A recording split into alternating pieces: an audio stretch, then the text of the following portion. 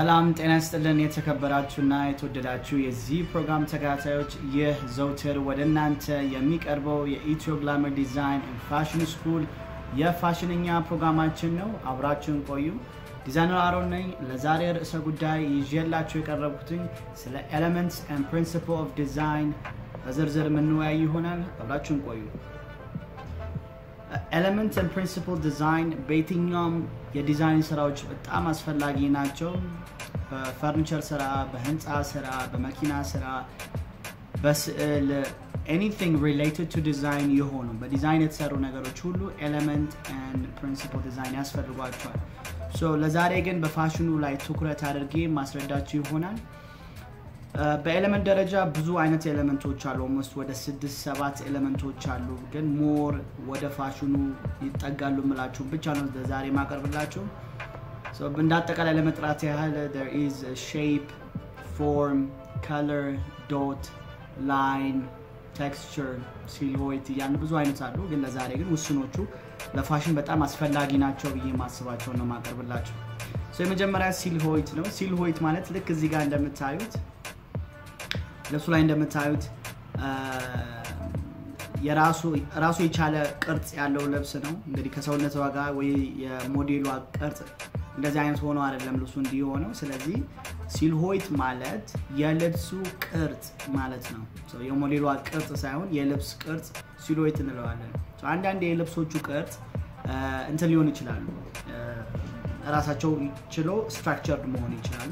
ካልሆነ ደግሞ free ሆኖ ልክ ስንለብሳቸው የሰውነት ተክለ ሰውነታችን የሚያሳዩ ወይ ቅርጻችን የሚያሳዩ shape ለምሳሌ tight ብንወስድ ቅርጻችን ስናወልቃቸው normal ናቸው። ልክ ስንለብሰው ደግሞ ሰውነታችን ቅርጽ ይሆናሉ ማለት ነው። silhouette የምንለው የልብሱ ቅርጽ ነው ማለት ነው። የተለያዩ አይነት silhouette አሉ። ለምሳሌ ያህል ግን አንደኛው straight የምንለው እዚህ ጋር ልክ ልብሱ እንደምታዩት straight ቀጥ ብሎ የወረደ አይነት ቀሚስ ሊሆን ይችላል፣ ሱሪ ሊሆን ይችላል። አሁን ለምሳሌ ያህል ነው እንጂ straight ከሆነ ዲዛይኑ straight ነው። ለየትኛውም ቢሆን straight ነው ማለት ነው። silhouette ኣችን ስንመርጥ ብዙ አይነት ሲሉዌቶች አሉ። ለምሳሌ ያህል ነው ይህን እነዚህን ያቀርብኩላችሁ እንጂ ከዚህ ሌላ ሲሉዌቱ ሊኖሩ ይችላሉ። ሌላኛው እንደ silhouette የምንጠቀመው is አፐላይት ወይም ደግሞ A-line የምንለውን ነው።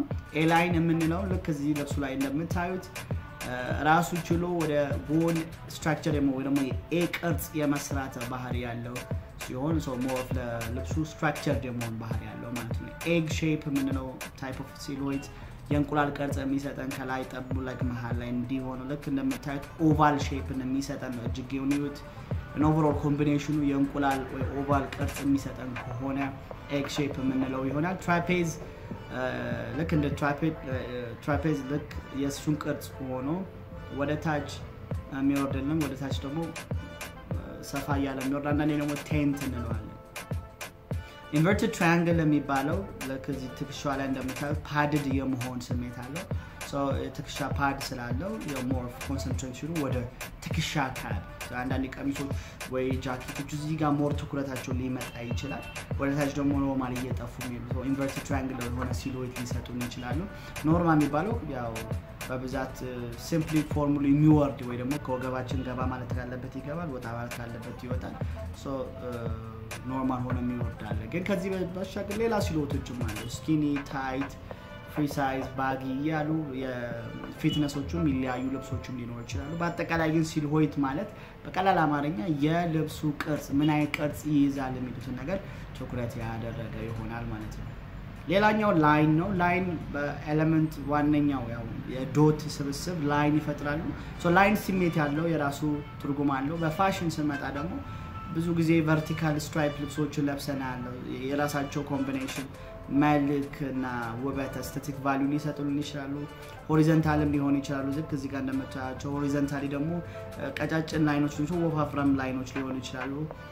even doesn't matter ላይኑ ላይ ነው ትኩረት ያደረግነው እንጂ color ላይ ራሱ color ኡ ስንጠቀመው ይህ የራሱ effect ይኖረዋል ማለት ነው። እዚህ ጋር እንደምታዩት ወፍራም ስትራይፖች ሲኖሩ እና ቀጫጭን ስትራይፖች የራሳቸው impact ይኖረዋል። diagonal ላይኖችም ሊሆኑ ይችላሉ። ፋሽን ትልቅ impact አላቸው። ከድሮ እስካሁን stripe የሆኑ ልብሶችን ስንለብስ መተናል። ሶ line ትልቁ impact አለው ማለት ነው። ሶስተኛው texture ነው። texture ማለት አይተነው ወይም ደግሞ ዳብሰነው ነክተነው ስሜት ሊሰጠን የሚችሉ ማንኛውም ነገሮች texture እንላቸዋለን። texture ማለት ልክ ለምሳሌ ሻካራ ሊሆን ይችላል። ስንነካው ሻካራ ስናየው ሻካራ የሆነ ሊሆን ይችላል። ወይም ደግሞ ስናየው ሻካራ ስንነካው ግን ሻካራ ያልሆነም ሊሆን ይችላል። ስለዚህ ያን ስሜት reflect ሊያደርግልን የሚችለው ለምሳሌ እዚህ ጋር ብታዩት የመሻከር ስሜት ወይም ደግሞ is pattern ያለው ሆኖ ግን ብንነካው የሆነ texture feeling የሚሰጥን ነው። እዚህ ጋር የምናየው smooth ነው። እዚህ ጋር ደግሞ የሆነ የሚፈስ ነገር ያለው ስሜት ይሰጠናል። ይሄን አይነት ስሜቶች ጨርቆች ላይ ወይ ዲዛይኖች ላይ በተጠቀምን ቁጥር የተሻለ aesthetic value ይሰጡልናል፣ የተሻለ ልብስ ያደርጉታል ማለት ነው። ሌላኛው color ነው። color በስፋት ሌላ የራሱ ርዕስ ይዘን የምንወያይበት ቢሆንም ግን color በፋሽን ትልቁ ወሳኝ impact የሚፈጥር ነው። ምክንያቱም ልብሱ አሪፍ ቢሰራም color ኡ ካላማረ ማንም ሰው አይገዛውም። color ላይ ስንመርጥ በተሻለ መልኩ የምንመርጠውን color በዞን የራሱ ፍልስፍና ያለው ያው monochromatic፣ split analogous፣ complementary እየተባሉ ብዙ አይነት color ኦች አሉ። እንዴት የምንጠቀማቸው? በፋሽን ሲሆን ምን ምንድን ናቸው? የ color የአመቱ color ተብሎ ደግሞ color trend የሚባል አለ። ስለ እነሱ ነገር ነጠር አድርገን ሌላ ጊዜ ስለ color የምናወራ ይሆናል። አሁን ወደ principle of design እንምጣ። principles of design are very important በጣም ጠቃሚ ናቸው። ምክንያቱም the uh, usage and how to use the elements in our design element ኦቹን እንዴት አድርገን እንጠቀማቸው ወይ ደግሞ በአግባቡ እንዴት መጠቀም የምንችለው የሚለውን እንደ ህግጋት አድርጋችሁ ቁጥሮች element ኦቹን ምን ይሆኑ እንዴት አድርገን መጠቀማቸው የሚለውን guide የሚያደርገን principles of design ይባላሉ። አንደኛው repetition ነው። repetition ማለት ድግግሞሽ ነው። አንድ ነገር ራሱን ሲደግም ወይ ደግሞ ሲደጋገም ያለው የዲዛይን aspect repetition እንለዋለን። ስለዚህ ለምሳሌ እዚህ ጋር ካየነው የሆነ ቀይ orange አይነት እና ጥቁር አይነት element አለ። ስንመጣ እዚህ ጋር ይደገማል፣ እዚህ ጋር ይደገማል፣ shoulder ኣ ላይ ይደገማል፣ ሸሚዙ ላይ የሆነ part ኡ ይደገማል። ስለዚህ ይሄን ነገሮችን ድግግሞሹ repetition እንለዋለን። እዚህ ጋር ያለው element ም እጇ ላይ ይደገማል፣ ከስር ያለው ጎኑም ላይ ይደገማል። ስለዚህ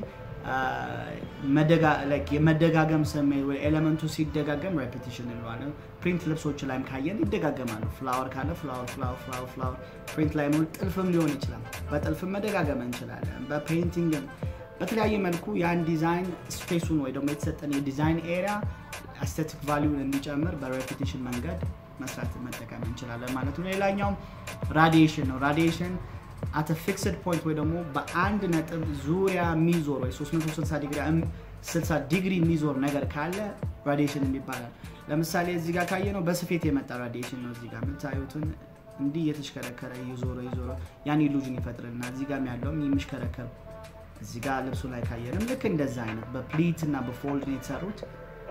ግን በ print ም መሆን ይችላል፣ በጥልፍም መሆን ይችላል። ይሄ የስኮር radiation principle ይባላል።